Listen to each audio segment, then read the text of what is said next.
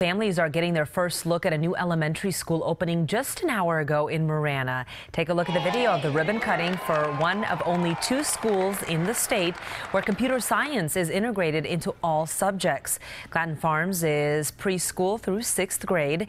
Each wing of the 83,000 square foot school is for a separate grade, and each classroom has a glass movable wall so teachers can bring students out of the classroom to keep them engaged. Each room will have standing desks on wheels so teachers can move them for different activities. This furniture is conducive to flexibility and it's easy to configure into different learning environments where students can not only connect with the teacher but connect with each other. The $18 million school was paid for by voters and will help lower enrollment at Fuller Elementary Schools.